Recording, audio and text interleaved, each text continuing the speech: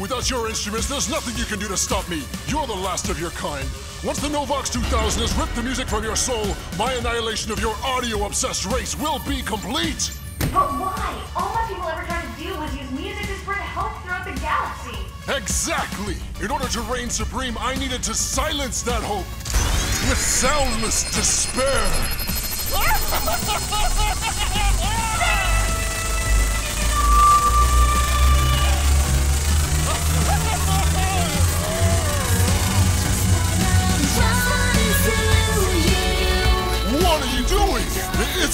impossible!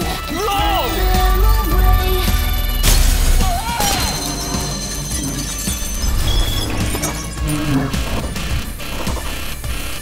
Not so fast, creep. You and I got a score to settle.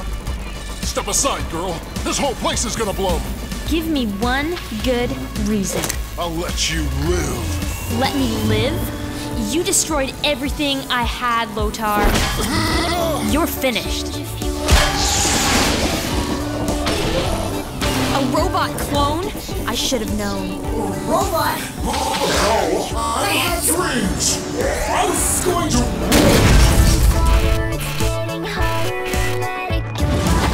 Sure hope this time's out the way I need it to.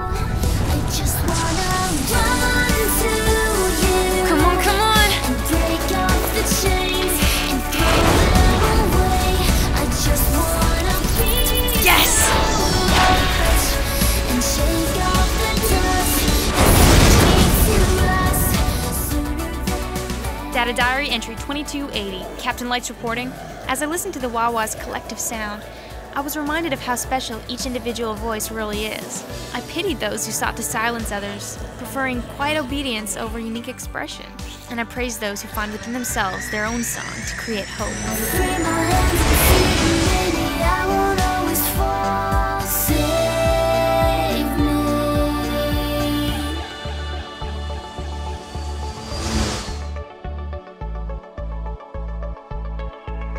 I just wanna run to you and break off the chain